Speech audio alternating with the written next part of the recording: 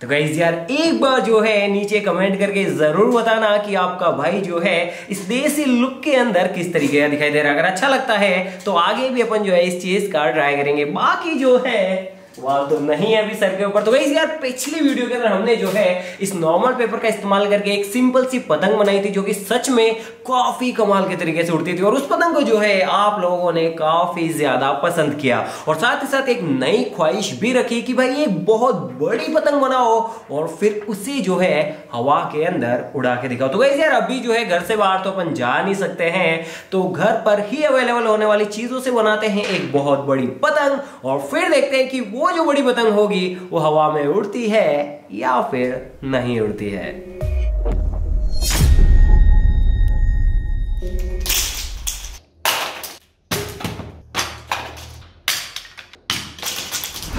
गई गई। तो यार, इन सब चीज़ों की ज़रूरत पड़ेगी हमें एक पतंग बनाने के लिए, और ये सारी चीज़ें जो है, घर के अंदर आसानी से अवेलेबल हो जाती है। तो कैसे यार, ये है नॉर्मल सी पन्नी, जो कि मतलब कोई फ़ंक्शंस वगैरह होते हैं, उनके अंदर टेबल के ऊपर बिछाई जाती है। वो, ये है नॉर्मल इलेक्ट्रिसिटी के अंदर यूज़ में होने वाले प्लास्टिक के पाइप क्योंकि ये काफ़ी हल्के होते हैं, इसीलिए हम इनका इस्तेमाल करेंगे। और ये रहा एक काफ़ी मज़बूत धागा, जिसका कि हम पतंग को उड़ाने के लिए इस्तेमाल करेंगे। और ये टेप तो चलो, सारी चीज़ें हो गई। तो चलो, अब बनाते हैं फटाफट से एक काफ़ी बड़ी साला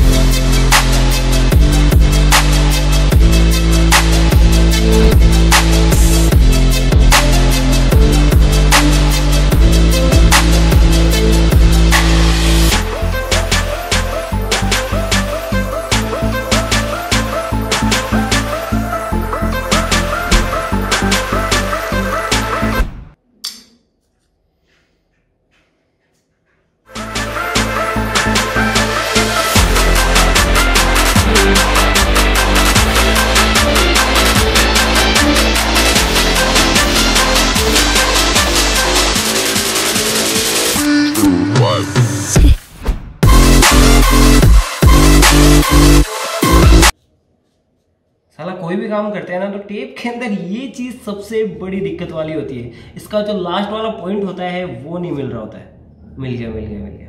तो गैस हमने क्या किया? छह छह फुट की पन्नी को इस रोल से काट लिया और इसे फैला दिया। तो आप देख सकते हैं कि अभी ये जो पन्नी है काफ़ी बड़ी हो गई है और हम इन दोनों पन्नियों को आपस में ज्वाइंट कर देंगे तो ये और भी ज़्यादा बड़ी हो जाएगी और हमारे पतंग के लिए परफेक्ट साइज़ वाली बन जाएगी। तो चलो इस टेप की मदद से इसे चिपका देते हैं। आई I मीन mean, इन दोनों को आपस में ज्वाइंट कर देते हैं।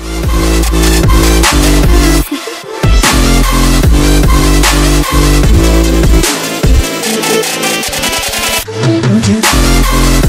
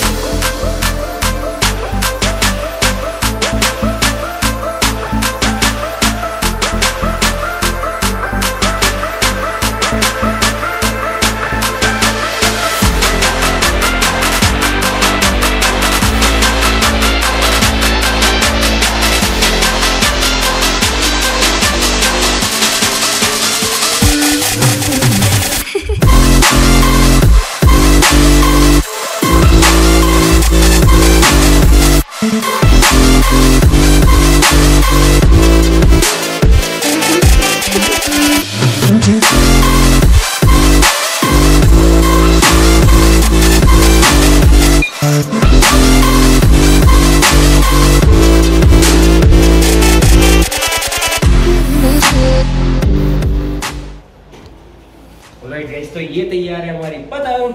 तो चलो, अब जो है, अपने खेतों के अंदर चलते हैं ताकि इसे उड़ा के इसका टेस्ट कर सके। बाकी देखने में यार सच में, ये जो पतंग है काफ़ी बड़ी दिखाई दे रही है और बहुत ही ज़्यादा औसम दिखाई दे रही है। यार, बड़ी पतंग तो बना दी, लेकिन इसको संभालना बहुत भारी काम है। घर से यहाँ तक लाने में जान निकल गई, क्योंकि यार, इससे बहुत ज़्यादा हवा टकरा रही है। और यहाँ पे तो हवा थोड़ी कम है, लेकिन जहाँ से घर से लेके वहाँ पे हवा सच में बहुत तेज है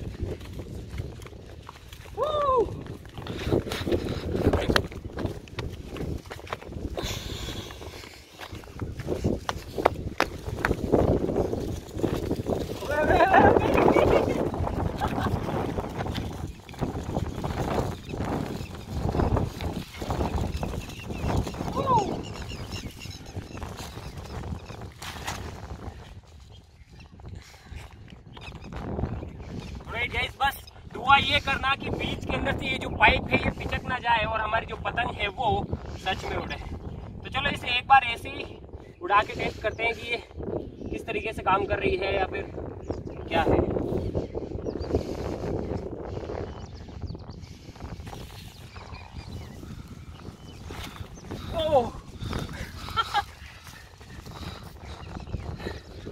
तो आप देख सकते हैं कि जो हमारी पतंग है, वो इस तरीके से तो काफ़ी अच्छे से उड़ रही है।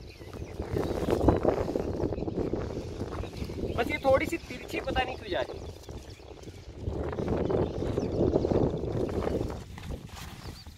वो अब सीधी जा रही है।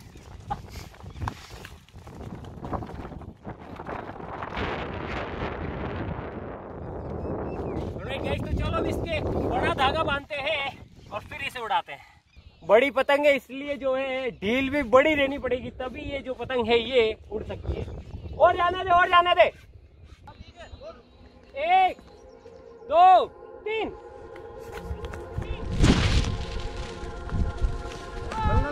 It's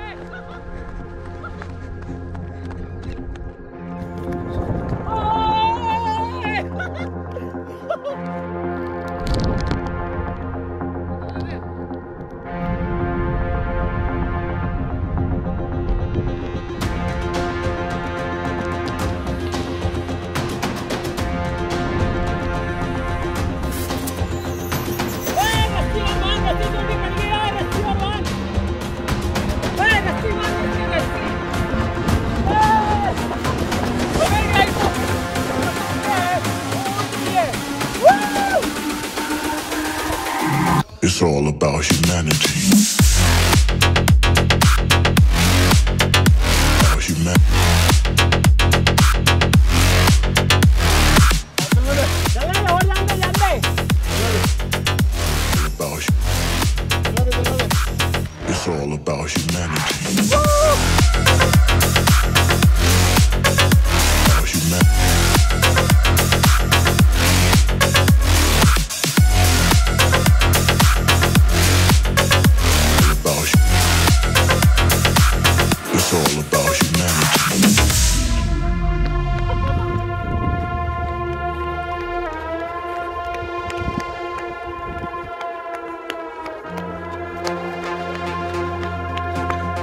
Alright guys तो यार सच में मज़ा आ गया। आप देख सकते हैं पतंग बिल्कुल मेरे सर के ऊपर है और जो मौसम है, वो भी कितना सुहावना है और रस्सी पे जो जो मतलब जो वज़न है, वो भी सच में काफ़ी ज़्यादा और जो पतंग है, वो पतंग काफ़ी ज़्यादा हाइट पे लेकिन बड़ी होने की वजह से आपको इतनी साफ़ साफ़ दिख रही है।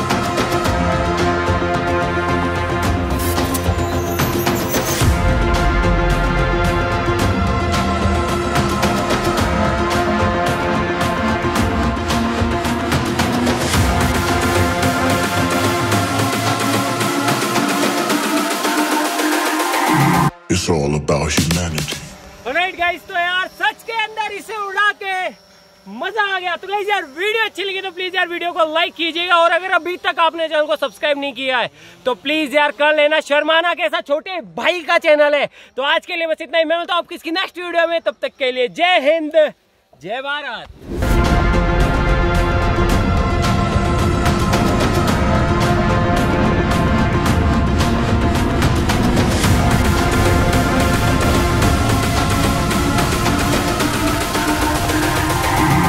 all about.